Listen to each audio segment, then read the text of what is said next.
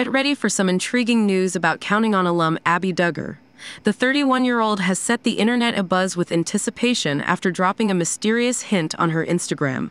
Abbie, while not as actively visible as her sisters in law, consistently resonates with her followers through her online posts. Last Christmas, the Counting on alum shared an adorable family photo, showcasing the notable growth of her children Grace and Charlie.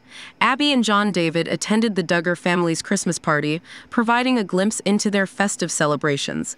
Although their off camera camera activities remain mostly undisclosed, reports indicate that John David, the third Duggar child, has been thriving as the director of business for Medicor, in addition to being a pilot and managing a towing service. Meanwhile, Abbie, a licensed practical nurse, currently appears unassigned to any medical facilities.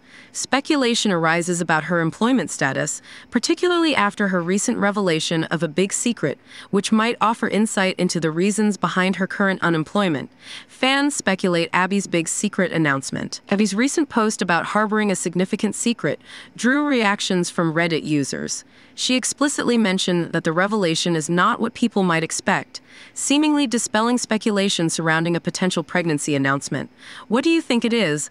I'm sure we're all thinking baby announcements, but she's saying it's not what we think. What do we think? Some new MLM scheme like Plexus so she won't have to work with the heathens in a hospital?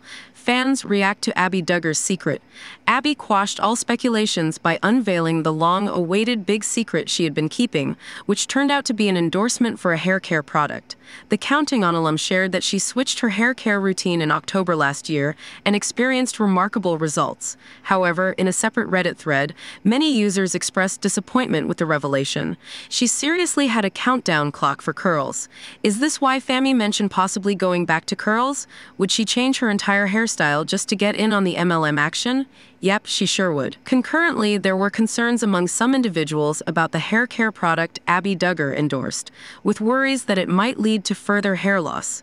Criticism also emerged questioning Abbie's expertise as a nurse, with some suggesting that she should have been aware of any potential side effects associated with the product.